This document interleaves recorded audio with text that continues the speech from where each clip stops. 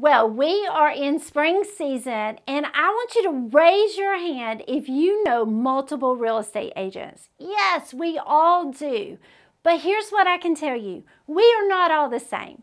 And if you are thinking about selling your house, the number one thing you want to pay attention to is how are they going to market the house? How many of you have ever seen some of the houses that we have up for sale?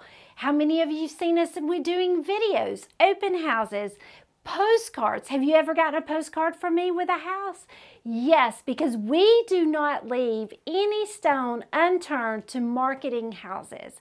So if you're thinking, I think I want to sell, but oh, I have a friend, I have a family member.